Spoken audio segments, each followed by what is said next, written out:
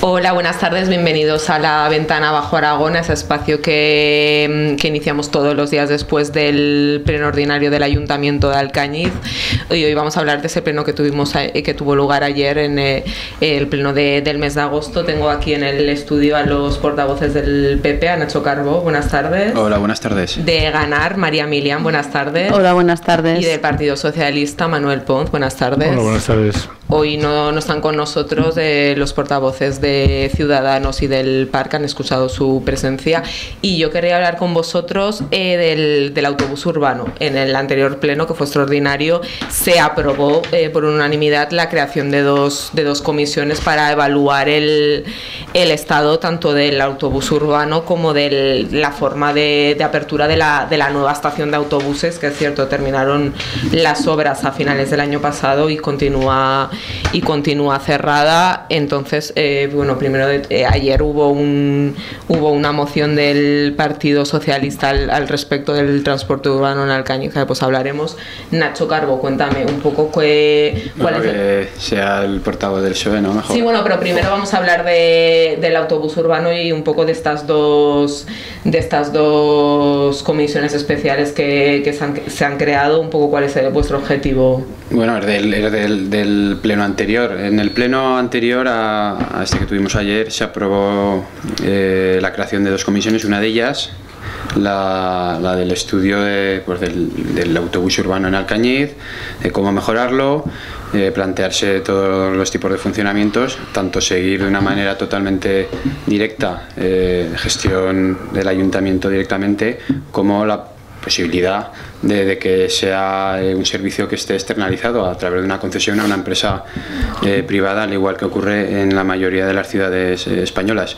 Y, y, bueno, pues al hilo de, de toda esta, esta, historia, pues hay una moción presentada por el PSOE que, que la tendrá que, que explicar, será, entiendo, el portavoz del, del pero un poco por situar al espectador, ¿qué queréis hacer esta comisión especial? ¿Cuál es vuestro objetivo? ¿Qué queréis hacer bueno, con ver, el creemos, transporte urbano, sí, con el autobús urbano? Creemos que el, que el autobús urbano de Alcañiz necesita, de, necesita de, de, de, mejoras, de darle una vuelta, no de mejora simplemente de cambiar un autobús, sino de mejorar, de plantearse una, una reforma, digamos, integral, un cambio integral de lo que es el servicio, eh, tanto de la flota de autobuses, como de que, de que haya unos recorridos, eh, digamos, más eh, estudiados, más técnicos, está, es un, un, servicio, eh, entre comillas, un poco arcaico, ¿no? Eh, estamos con las medias horas, las horas en punto, que eso lo entenderá, eh, bueno, mi abuela no utiliza el, autobús, pero yo creo que lo entienden alguna gente mayor y, si llega, porque yo desde luego no soy usuario tampoco, pero no es muy lógico que eso de las medias horas, sino que, en fin, que haya unos postes de, de paradas en condiciones, que haya un servicio, digamos, de vanguardia, que no te digo el mejor servicio de autobuses de, de España al, al, al, nivel de una ciudad, una capital de provincia, pero desde luego mejor que el que tenemos ahora y acercándose a ese tipo de, a ese tipo de servicio de transporte urbano. ¿De qué forma se quiere? No tan de andar por casa. ¿De qué forma conseguirlo? ¿Cómo, ¿Qué proponéis? ¿De qué forma conseguirlo? De la forma que tras eh, las eh, sesiones que hagan falta en esa, comisión que estudie el servicio y las diferentes eh, posibilidades, pues se sacarán unas conclusiones y a partir de esas conclusiones habrá que tomar una decisión. Para eso se crea la comisión. Manolo, cuéntanos, ayer a vosotros os, os tiraron para atrás una, una, moción relativa a este transporte urbano de Alcañiz. Cuéntame un poco qué es sí, lo que queríais conseguir. Efectivamente, no salió adelante, pero ya adelanto y me voy a explicar el por qué. Estamos contentos con esta moción. Estamos contentos a pesar de que no salió adelante, porque nosotros en la moción presentamos una serie de puntos que defendemos y defenderemos hasta el final como es una gestión directa por parte del ayuntamiento, no llegaremos nunca a acuerdos con la palabra privatizar y externalizar, cada uno tiene una idea de lo que es una palabra es otra, con el Partido Popular siempre tenemos esa diferencia, ¿no? Queremos también que se abra un diálogo, porque un cambio tan importante tiene que haber un diálogo entre parte política, parte sindical, parte de trabajadores, queremos saber el coste del transporte, no, no se sabe, en esas comisiones habrá, pero luego hablaré del porqué del pleno. Y luego también hay una, un, cuarto, una, un cuarto punto donde hay un tema donde el alcalde eh, que es, digo que es muy gratuito cuando habla, porque, porque efectivamente se han creado unas comisiones, que es donde tenemos que hablar, o en el Pleno, que también es un tema, pero salir a los medios de comunicación diciendo que el transporte cuesta 343.000, hay una incongruencia con el presupuesto del 2018, donde solo hay 132.000. Si eso es así, si realmente estamos hablando de 343 y, solo hay un presupuesto de 132, no me extraña, o no nos extraña, sobre todo a los grupos de la oposición, que la famosa 400, la cuenta 413 todos los años suba. Concretamente en el 18, 17 perdón, pasó de 600.000 a un millón. Porque si esto es así, la cuenta este año, el transporte, llevará a la 413 208.000 euros, porque no habrá dinero para pagar. Si es así, ¿eh? Veremos los números. Y luego, por otra parte, pues que también entendemos que hay que hablar ya del futuro, Nacho lo ha explicado y creo que en eso coincidimos, que hay que ser más modernos y hay que innovar y demás. Tenemos que, cuando se hable de ese tema, tenemos que hablar de, de la situación del nuevo hospital. Se tardará unos meses, que serán unos años, tal como nos decía ayer el portavoz del PAR que parece que no tiene mucha confianza que esto llegue a feliz término. Yo creo ahora mismo lo estoy viendo desde aquí y creo que sí que llegará. Pero bueno, nosotros eso lo defendemos. Pero también otro de los objetivos que creo que es el que se consiguió, a pesar de que salió rechazada por el Partido Popular y ante la extensión del PAR, nos apoyó por supuesto el Grupo Ganar, Ciudadanos no estuvo en pleno, es que se hablase del transporte urbano que lo que hablamos en el pleno. ¿Y por qué en el pleno?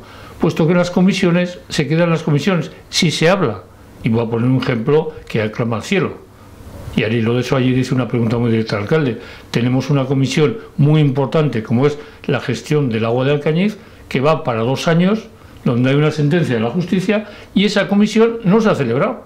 Con lo cual, no sabemos si el devenir del transporte urbano vendrá en comisión. Yo creo que desde ayer porque saltó en, los, en, el Pleno y porque los medios de comunicación os vais a hacer eco, el equipo de gobierno no le va a quedar más remedio que convocar esta comisión.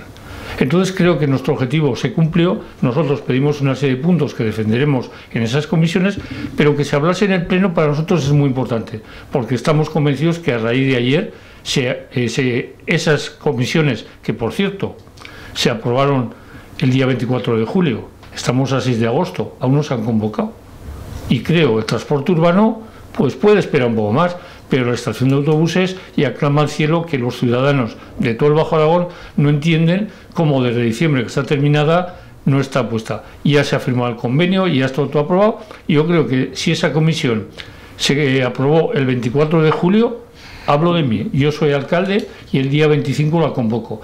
Entonces, esa fue nuestra intención. Por una parte, manifestar cuál es nuestra idea de cara a cómo queremos que se gestione el transporte urbano y por qué lo llevamos a pleno, para que se hable en el Ayuntamiento del Transporte Urbano. Sí, es cierto que, el, que la estación de autobuses terminó a finales del año pasado, pero que el convenio con Gobierno de Aragón hasta hace unas semanas eh, no había llegado necesario para la ciudad de Alcañiz poder abrir esa estación. yo no digo que se hubiera abierto en mayo porque no estaba el convenio, pero una vez firmado, una vez el 24, el 24 de julio se crean las comisiones, hombre, al día siguiente empecemos a trabajar. Muy bien, Nacho, no sé si ahí al hilo de lo que comentaba Manolo, ya hay día para. ¿Habéis convocado ya la comisión o de qué depende? El día siguiente de. Bueno, no sé si el día siguiente, pero eh, puede que la misma semana seguro de la creación de estas comisiones hubo un correo del secretario del ayuntamiento, secretario general, solicitando a, a los grupos la designación de miembros. Yo no sé si están todavía designados. Sí, sí están. Sí están. Y desde luego, a ver, eh, el decir que al día siguiente tiene que estar convocada la comisión, pues yo creo que roza eh, cierto componente demagógico. Está claro que no, que no tienen que pasar dos años como la del agua, que también ayer explicó el, alcalde el porqué, que no vamos a entrar en el, porque estamos tocando demasiadas, demasiadas cosas muy generales. Estamos hablando de que se cree una comisión para estudiar eh, la mejora del transporte urbano y que el PSOE presenta una moción al siguiente pleno eh, posicionándose ya de qué sistema es mejor. Eso es lo que nosotros no entendemos y por eso ayer nosotros votamos en contra, simplemente. María, tu turno. Bueno, yo voy a empezar también por el principio, que es la pregunta del pleno anterior, que nosotras ya nos pusimos eh, de parte de que queremos el servicio público 100%, eh, cuando nos llegó la convocatoria del pleno, que no entendíamos la urgencia de ese pleno, siendo que llevamos, bueno, que llevamos pidiendo que servicios que están privatizados y se podían haber, que han finalizado sus contratos, se podían haber estudiado la gestión pública, lo hemos pedido desde el principio de la legislatura, como por ejemplo con el camping, como por ejemplo con el agua, como decía Manolo, llevamos insistiendo en hacer una comisión del agua donde se vean los datos claros, donde se pueda estudiar la gestión pública del agua, como se ha hecho en otros ayuntamientos, que se ha revertido, y la respuesta es que no. Y de repente nos llega eh, una convocatoria de pleno eh, para estudiar la gestión del transporte urbano cuando, bueno, la urgencia es que lleva siete años según ellos, mm, de manera con déficit, ¿no?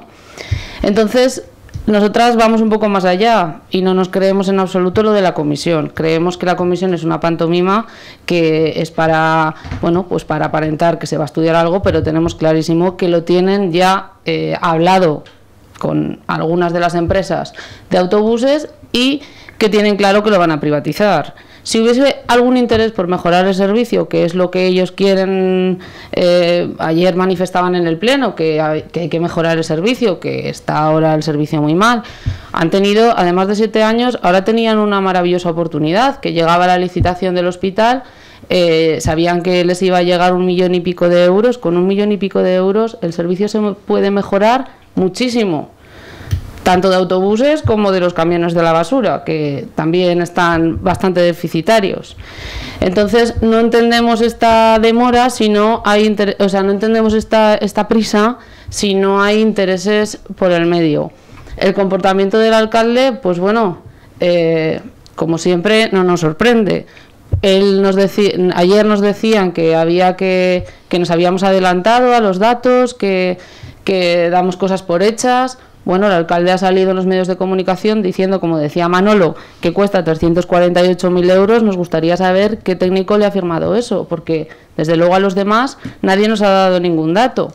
Las cuentas que nosotros hemos hecho y las hemos hecho por nuestra cuenta, desde luego nos salen la mitad del servicio. Entonces, o el alcalde miente, se ha inventado los datos, o si eso es real, bueno, pues que nos lo enseñe a ver dónde están las, las cosas. Y por otra parte, yo que ayer, escuchando los argumentos del Pleno, si todo es tan maravilloso con las gestiones eh, externalizadas, oye, externalicemos la alcaldía, que seguramente nos saldrá mucho más económico. La oposición también se puede externalizar. No, no, pero nos saldrá mucho más económico, porque seguramente lo tendremos a tiempo completo que tenemos a la alcaldía de aquí para allá a tiempo parcial entre la DPT y el Ayuntamiento de Alcañiz y seguramente podríamos dar servicio a todas las cosas que se están demandando en Alcañiz y que nos están eh, atendiendo. Entonces, bueno, si, si tanto quieren privatizar todos los, servicios del ayuntamiento, nosotras, nuestra propuesta es que se externalice la alcaldía. Nacho comentaba, no sé si tenéis la decisión tomada de qué modelo queréis para el creo urbano. no, no, el modelo es eh, no queremos ningún modelo diferente porque, o sea, defendemos que haya un mejor servicio. Se crea una comisión para estudiar, estudiar cuál va a ser, cuál puede ser el mejor modelo para prestar el mejor servicio. Pero aquí hay partidos que siempre confunden, es que se vuelve a ir lo de privatizar. No hay ningún servicio de todos los que se han nombrado aquí que sea privado. No hay ningún servicio que sea privado. Aquí hay un servicio privado en el Cañiz que puede ser eh, el gimnasio que tenemos aquí al lado de los estudios. Hay otro que es público, que es el, de, el del polideportivo. Aunque haya monitores que se, que se externalicen, que eso está sucediendo en los últimos años, recurriendo pues a, empresas mm, dedicadas al, al, deporte. Eso no quiere decir que sea un servicio privado. Un servicio privado en Alcañiz pues puede ser el Mercadona, pero el agua, eh, el camping son servicios, eh, digamos, públicos. Y ya está. O sea, es que jugamos a mezclar términos. Por no entrar en la terminología. yo pero es que la moción... No, yo creo que la moción es que se está anticipando a todo eso y yo por eso yo no voy a entrar en el debate de qué es mejor o qué es peor, porque no lo sé. No lo sé. Lo que pasa es que los grupos eh, Ganar y PSOE directamente se ponen del lado de una opción cuando no sabemos qué es mejor o qué es peor. No tiene por qué ser mejor la gestión directa pública, porque sí, por sí misma no tiene por qué ser mejor. Entonces, se ponen directamente, se querrán ponerla eh, del lado de los trabajadores, que me parece muy bien, y yo en el plano personal, lo dije ayer en el pleno, pues a lo mejor puedo estar de acuerdo, pero en el personal, pero yo es que, yo es que miro por el servicio del autobús urbano. Ya está. Luego se nombra la licencia del millón y medio este, es que ayer precisamente en el pleno uno de los puntos es que directamente tiene que ir a amortización de deuda. Entonces, claro, lanzar Claro, lanzar esa. Claro, tiene que ir a amortización de deuda. información así y. Porque no se incluyó en el, en el presupuesto 2018, que lo pedíamos todos los grupos de la oposición. Claro. Y que el gobierno de Aragón había avisado que se iba a. Recien, o sea, que se inme- inmedi- inmediatamente se iba a. Yo creo que a el, pagar. el resumen, eh, Manolo María, No, es pero- que en, en esas comisiones de trabajo es donde se tienen que ver las cosas y pero poner las permíteme encima de la mesa. una pregunta, no anticiparnos. Nacho. Aquí obedece, aquí obedece a que eh, llevemos parados años sin hablar del pliego del agua, que está denunciado, o sea, y la, la justicia ha dicho que no es válido el anterior, y que una empresa privada, porque es privada, no externalizada, privada, le haya dado al ayuntamiento 2.300.000 euros y no se los pida. ¿Eso quién se lo cree? Nadie. ¿Qué hay detrás? ¿Qué hay detrás? Bueno, se los pida. Hay una, una amortización. Pero no, es que no, no, no, no, eso está anulado. Eh, perdona, el anticipo no. Estamos hablando del agua. No. Yo, es que, yo no es por cambiar de tema, era porque pero- estamos hablando Hombre, por... pero, pero ante las preguntas directas es que es, que es un caso muy pero es que claro. no tiene nada que ver el agua con esto. Claro, No tiene que sé. ver, no, pero en el fondo Es que sí podemos tiene. hablar, claro, de, No, no, de no. todas las áreas del Hombre, ayuntamiento. ¿Por qué nos hemos adelantado? Porque tememos lo mismo. Claro. Y os ha cogido a contrapié. Os ha Bueno, cogido a contrapié. lo que ponéis es la venda antes de la herida. No, no, porque, Claro. porque ya tenemos la herida sin vendar. ¿Será otra herida? Otra, no sé. otra. Sí, podemos Otro hablar tema- otro, otro tema otro que- tema, que otro día podemos hablar del a agua. Una pregunta que creo que yo que creo que les interesará a los a los oyentes hablando del, del autobús municipal. El equipo de gobierno sí que ha anunciado que hasta que se decida que por qué modelo se abra la, la estación de autobuses se va la va a abrir con bueno con personal pro- con personal propio, o sea, sí, a ver, vamos se va a abrir. que- Mi pregunta es cuándo se va cuándo se va a abrir este, gestiones Pues no te, ahora mismo no te puedo decir una fecha, pero lo que estamos buscando es pues eso, que, que se abra cuanto antes, independientemente de que definitivamente se abra de la manera que tiene que abrirse, porque es que tenemos muchas quejas de los vecinos. Es un- Por eso es un una cosa que habéis dicho vosotros que, se iba, que que se iba a abrir hasta que se decidiera el modelo Entonces, con personal Hay una propio. contratación de, de mantenimiento de los baños para que haya, porque aquello es un ¿Eso problema tiene, gordo. fe- tiene algún tipo de fecha? Ahora mismo hablábamos de los, hace No unas semanas se decían fecha. en los próximos días, no sé si ya están dadas de alta el luz, el agua. No te puedo decir ahora No mismo tenéis fecha. concreta, pero iba inmediatamente, vamos. Por terminar, eh, por terminar, ayer también se, sí que se aprobó, eh, María, si quieres lo comentamos, nos quedan un par de minutos, una, una moción vuestra eh, relativa al sistema público de pensiones. Nada, Sí, eh, nada. Formamos resumida, cuéntame un poco. No, agradecer al. Partido Socialista y al, y al Partido Aragonés porque apoyaron la moción. Simplemente era una moción que llevaba un poco las reivindicaciones que llevan haciendo los pensionistas, la coordinadora de pensionistas, y que todos los lunes están en la Plaza de España eh, de manera incansable. Una de las cosas que nos enseñan los pensionistas es que las luchas hacen cambiar presupuestos y hacen cambiar a un equipo de gobierno de parecer, que lo, han demostrado con las pensiones, pues bueno, esperemos que las luchas de los grupos de la oposición junto con los trabajadores hagan mantener el servicio 100% público del autobús. Otra cosa que ayer también se declaró de especial interés de utilidad pública, el, el establecimiento de una bonificación IBI para las viviendas para las mayores. Nacho, cuéntanos un poco qué, qué pretendías A ver, conseguir esto con simplemente es, eh, digamos, normalizar algo que es una tontería, que es pedirle a Fomenta un dinero para que luego el ayuntamiento es, el, es digamos, evitar eh, todo ese tinglado de Los de mayores, de en que los, en los Es- vecinos de las viviendas se van a ver tendrá en que ir a- algo. No, es una No. cuestión más entre Fomenta y el entre ayuntamiento. Fomenta. Se va, eso irá ahora mismo a Comisión de, de Hacienda y se trabajará para incluir en, pues, en, en el IBI pues, esa, esa- sí. Sí, es algo más a nivel del propio edificio que los vecinos no se van a ver en. Sí, además creo que hay una ley estatal que este tipo de edificios se pueden acoger a, estas- bonificaciones. a estas bon- bonifica- bonificaciones. Perdón. Bueno, pues muy bien, muchísimas gracias y nos vemos dentro de, de un mes. Muy bien, gracias.